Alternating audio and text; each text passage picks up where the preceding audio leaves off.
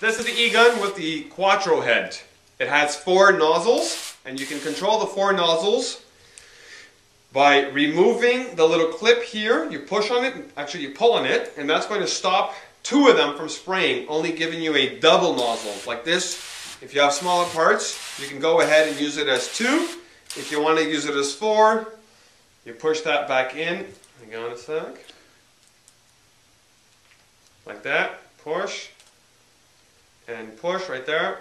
You hear a little clicking sound, and now it's four.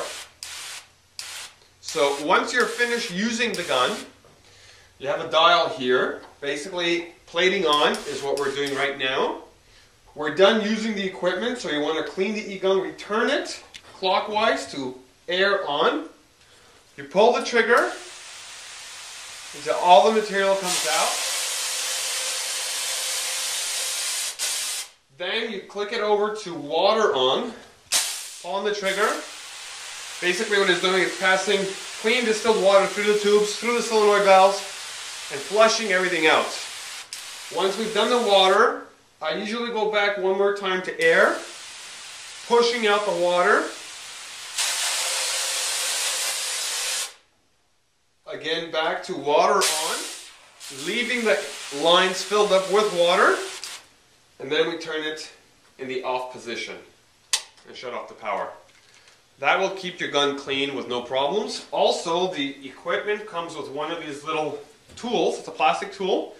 On the black side, this actually fits exact. You can unscrew each one of these nozzle caps. Once you've unscrewed them, the opposite side of this little tool has a little pin that fits exact. That you can break any metal particles or pieces that have formed. Okay? You can go also from the inside, making sure there's no formation of metal, giving us resistance of material.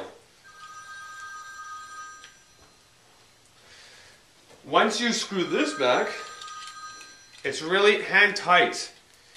You really don't want to use any tool besides this. Just give it a little tight, that's it. Preferably, I mean, you really want to keep these always in the same position, meaning this one here should always go here. Don't swap them. Leave them in the same place. They have been calibrated to fit exact for each one of the nozzles. So the cap and the nozzle are together.